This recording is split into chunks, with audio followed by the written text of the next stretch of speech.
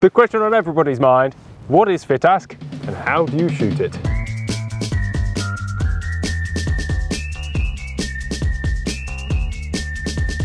I can certainly try and answer the first bit for you. Um, so it's a, a gun down version of sporting. It's more varieties of targets. So you're going to see more singles with full use of the gun, um, combination of report and simo pairs. It's kind of like a cross between compact or sport trap and English sporting, just with a much more diverse range of targets.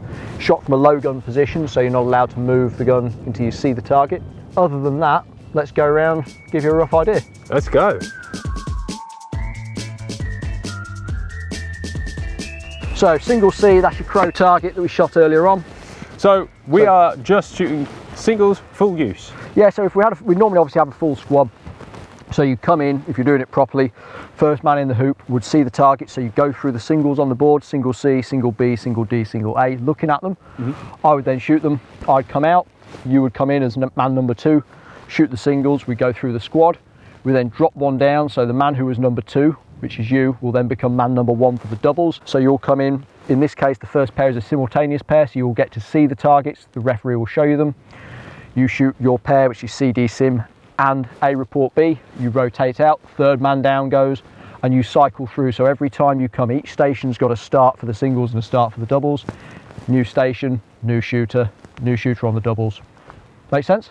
Makes perfect sense. Are there any major do's or don'ts? What gets you disqualified? Um, cheating, filling your own scorecard in, that's quite frowned upon, I've heard. strangely. Um, no, but seriously, it's basically your gun mount. So Yeah. you're going to have a, a line just about there, give or take. The top of your stock has to be underneath that and touching your body.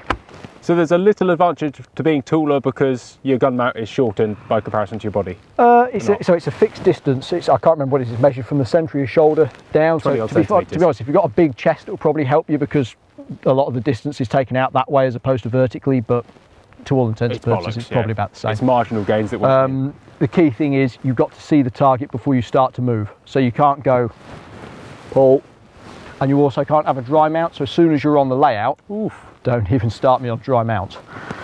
As soon as you're on the layout, you can't go, oh, just make sure that's okay. That gets you a warning. Yeah, do it you again. get another warning, then you'll get dock targets. So as soon as you're on the layout, gun stays below, below the line. Mm-hmm. Yeah? So you're doing your entire pre-shot routine in your head. Yeah. Cool. If you start talking it through, people think you're mental. Yeah. So first target is the crow, which is C. So gun down, pull. That's moved. the wind is dead. The wind's moving the other way. Yeah. Down the valley completely. Yeah, that's that's swung round a lot, hasn't it? Yeah. Uh, B is the left to right crosser, low. So again, gun under the line, back to a hold point, eyes back, pull, start the move. D, so same deal, gun down. So this is gonna be quite a short move. I hold reasonably high for it, let my eyes work early. Ball. A, this is gonna be the looper, which is a standard clay now. Ball.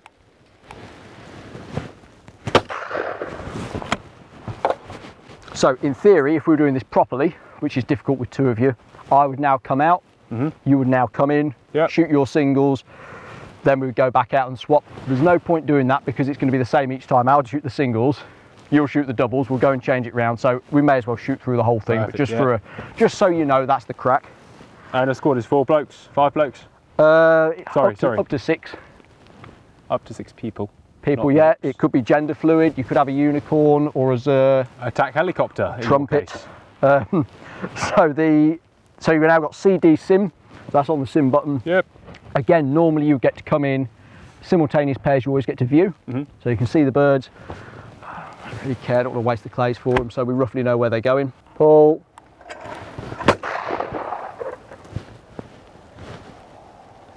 I was worth trying that because I was a smart ass, and that's why you don't do it in competition because you can miss. So now I shoot the AB report. Pull.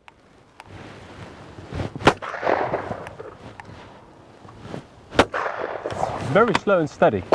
Uh, and within reason, the slower and steadier you can be, the more consistent you're going to be. Because when you make short, fast moves, especially relative to reasonably steady targets, if your timing goes off a split second, it stops working. How hard is this layout in FITASC standards? Um, to be honest, I mean this is this is a steady peg, I would say. The the last peg we do would be harder than most of the stuff you'd see internationally now. Peg two would probably be about what I would call par. Yeah. So this is what we call old system where you're using the same targets and moving positions. I personally prefer it. There's the new way of shooting it, which enables more shooters to go through. Each peg is actually a self-contained set of traps. So rather than shooting the same machine Oh, and nice. getting further and further away, it sort of standardizes it a bit, which I don't like. I like the fact that you can start off fairly steady, and by Yeah. the time you get to peg three, you look at it thinking, this is serious. But the targets are the same, so Yeah, it's the same birds, but you're shot from a different perspective, rather than every layout sort of being set at about par. So I'd say steady, about par, hard. all right. Your go. Thank you. All right, so straight in, there's no points deduction for missing and using a second barrel kill. No, kills to count, so full use of the gun, Perfect. kills count.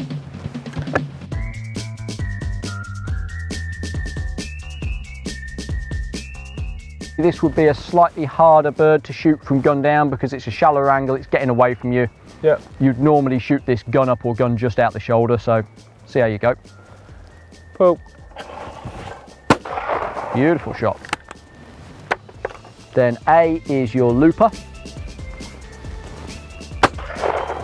Cool. So CD sim pair. In theory, you shouldn't need to change anything with these, how you've shot them as singles. You've got the trap bird, which you've got all the time in the world, and then to transition, shoot it properly. Don't try and be a smart ass like I was and mess around. well, Beautiful shot. Okay, and then you've got A report B. So A is the looper, B is the crosser. Again, steady, controlled, make them easy shots. Nice. Good job. perfect. It's amazing. Should have, uh, you know, shot it once I'd warmed up a bit. Yeah. So when you get into a, onto a peg a hoop, Yep. what what are you thinking? Are you just thinking, So I've seen the if, if we're doing this again, if we're doing this properly, we'll be running through, looking at each target. I'd be looking at where the battue's coming from. Obviously, I can see the trap. I know roughly where it's going because we've set it up. But I'd be looking at the bird, planning a first kill point, reading the target, hold point, method I'm going to use to put onto the shot, all that kind of stuff. I'll be running through for each single target, running it, and then if I need to adjust it afterwards, that's the plan. So it's the same process we did on sporting, but it's harder because obviously sporting you do it one pair four times. There's no real repetition here, so you've got to be a bit quicker on your. On See, your in my head, this is easier because there's no repetition. Yeah, so it might be easier to get it broken in the short term, but you're trying to run the best possible shot each time. So sporting should get easier and easier as you go through because you'll be fine tuning and getting better and better and better as you go along. Yep. Whereas you've got to get this right or wrong. There's no, there's So no way to find your feet. Perhaps would suit a game shooter, Possibly, yeah. Again, would depend on the targets, but maybe from a mental perspective. yeah, of getting in, you've got one opportunity, kill it, bang, Yeah. maybe It's certainly more. It's more forgiving if you've got a bogey bird. inconsistencies in your technique, shall we say, because you don't have to do the repetition. What is a good score in FITASC nowadays? Oh. It's how long. It's how long is a piece of string. If you look at all the world championships, they're generally speaking one in the sort of high 180s to low 190s out, Out of of 200. So 95-ish percent is, Okay. you know. Good. Oh yeah, yeah, absolutely. Not, um, but it's a lower score than Sporting's top end events. It used to be that FITASC was a lot lower scoring. So the last registered FITASC I shot was here. it Was actually about I don't know three or four years ago, I suppose. And I think I was a two-day one, and I won it on 86 because they were big, hard targets. But you could also go to ones which won on 9900 straight. It's because Yeah. there's no there's no sort of consistency to what the yeah, targets okay. are. It's, it's all to do with the It's course. who set the course. Yeah. So that's why people don't shouldn't really be focused. I think on numbers and more on process and results. Yeah, uh, they're focused on winning, and if you win with a 50, that's still a win. Yeah. Just means they were really, Yeah. really See, all I think you should always look at how close you are to whether it's the top of your class or the top of the scoreboard in total, Yeah. irrespective of what the numbers are. Do you, when you were competing, did you have like names who were your benchmarks to beat at the time? I, genuinely, when I was doing it, all I was interested in was doing as good as I could, and my view would be if I did that, I'd win. It doesn't matter who. Yeah. When you're feeling good and you're happy with what you're doing, it doesn't matter who walks into the car park. You're like, yep, fine. Nice. Who cares? But it's yeah, that's uh, that's not necessarily easy to to get to. Um, and I certainly wouldn't do it now. I'll stay in. Nice. Wasn't going where I thought. Again, That's that picked up a bit. It's always kicked up higher, maybe. Nice. That one came in to sit on the end of the gun. So again, we'd normally switch round here and swap out, but Yep. there's no point. Uh, B report E, so The old that's D. crosser crosser.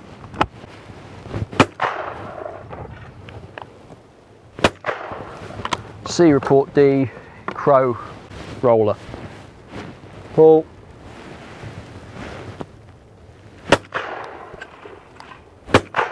Oh. You don't like that one, do you? I hate it. I've just got to point at the front edge of it and pull the trigger. I hate stuff like that. How much attention do you pay when you're shooting? As somebody who's at a fairly high level, is it utterly conscious? How much of it is just completely natural now?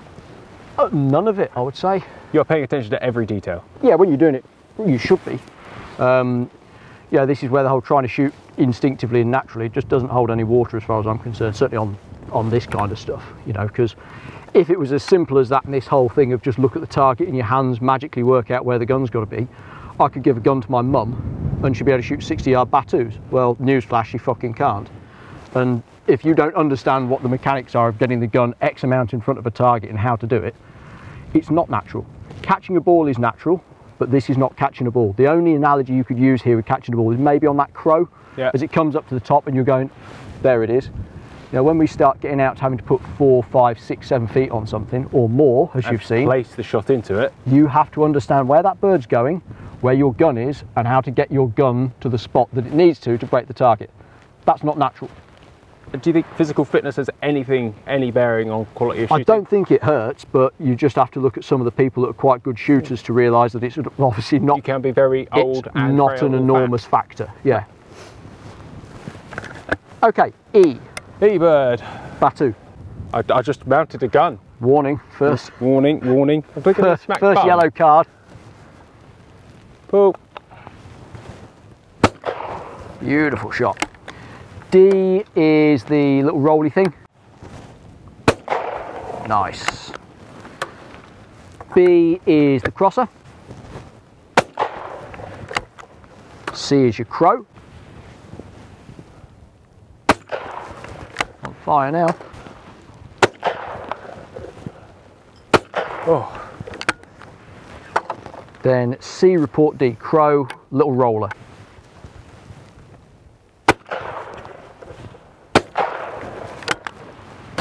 Excelsior. perfect. Right, One so silly miss. last one. This will be one where we're going to try and go and stretch our legs a little bit to try and make it, you know, say that difference of moving between Yeah, one, that two, you can three. really put me in my place. Going well. Yeah, uh, to be honest, at the minute, I think if anyone's going to get put in their place, it's not going to be you. So, same deal. I'll go in so you can have a chance at, at looking where they are. You can see A, B, C, D, E as singles. We'll run through that. So, obvious thing that's changed here is the distance. We've moved back, probably 20 yards from the last peg. Probably 25. Yeah, it's a it's a fair gap. So what was a fairly straightforward target can now get quite tricky. That D bird, I would say, there's there's a few potential banana skins here. From a gun down position, the D bird especially because it's quite a shallow angle, trappy and rolling. Um, a is going to be a, a reasonable looper, but with the wind, again, I think that's probably pulled that in a bit, so it's maybe not going to look so bad. B is always going to be tough, especially from gun down being flat. Uh, crow is the crow. D, Battue is going to be a good chunk, but shootable. So let's have a dig at them. Come on, big man. Nail them all. Nail them all. Pull. Woo. Pull. Oh, that's a pig. That's tasty. Nice. I thought you were going to let it drop all the way and try and. Uh, bottled out. D's my favourite one. Mate, that shot was deep. That was epic, by the way. That was Oh, lovely. thank you. Beautifully shot. Nice to hit it. Yeah. Uh, E, so this is going to be a biggish Battue from the right. Paul. He is a lightning. So we've now got E report D. So this is where in the pairs, you're only shooting gun down on the first target. You're allowed once you've shot your first one to keep the gun on your shoulder. So you don't have to disc, don't feel you've Yeah. got to go bang, bang. And in the case of this D target, I would definitely keep it in my shoulder because Yeah. it's getting away. Boom, Boom. Okay. Let's go for it. Right, the speed with which you're macking E is unbelievable. Well, again, Or is it just anger? You just frustrated? just just pure spite now. uh, and now we've got AB as a pair, which last time, You shot the B bird first. yeah, shot the B, then A. I think I'll probably go, I'll probably try that again because I think the wind's only got more, I guess. Yeah. Ball. Nice. I actually think, just chuck one of those bees. I'm doing too much with that. Nice. Ball. Oh, just on the front Just too edge. much. Front edge it. Yeah. Beautiful. Okay, All right. so A through to E, full use singles. Just Yeah. go steady, take your time. Now we're shooting the tasty stuff. Get in. Oh, hats on backwards now. Beast mode, mate. That's what it's all about. Yes.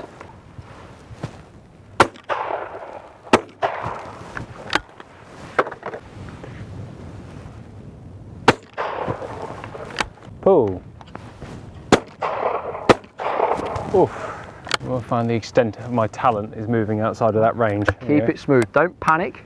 E, yeah? Yeah, right to left battue. Yeah. Fair bit of pace. Pull. Good second. So E report D, that's your battue that you've just shot, and then gun down for the quarter and away, whatever you want to call it, teal or Thing. Pull. Oof. and now uh, AB sim. Yeah, that's the way to do it. Place the shot.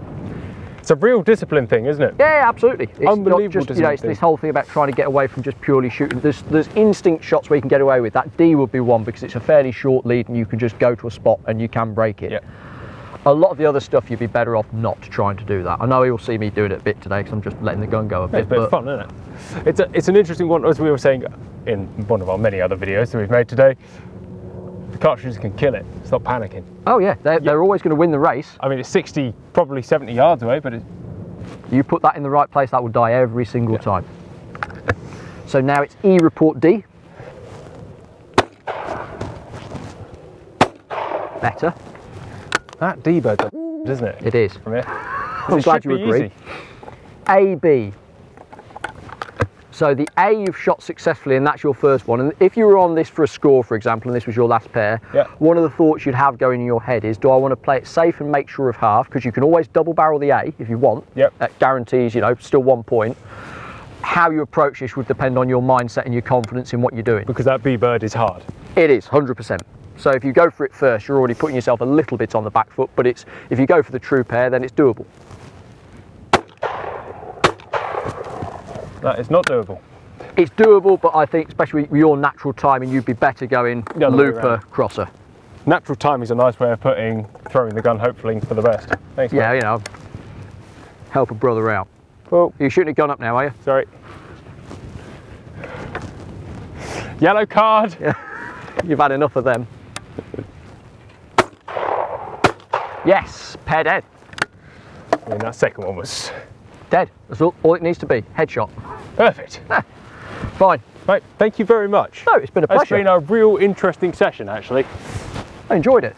Do you think people should take up FITASC more? Yeah, I think to be honest, just people should get out and do what they enjoy doing. If you enjoy give FITASC, give it a go, see how you like it. It's a great discipline.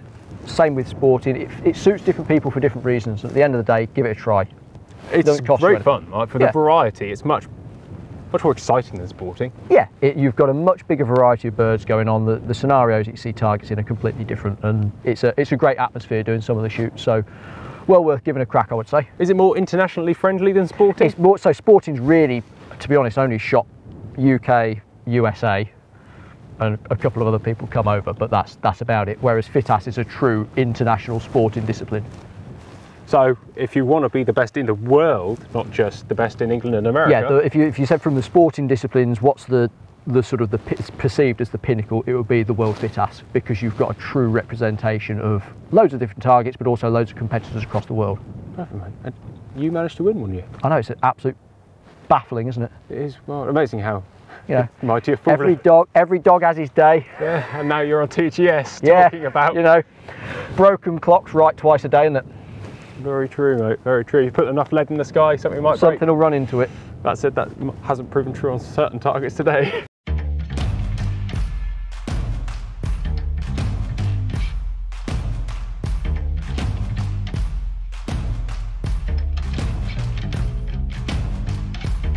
Get out, mate! Get out!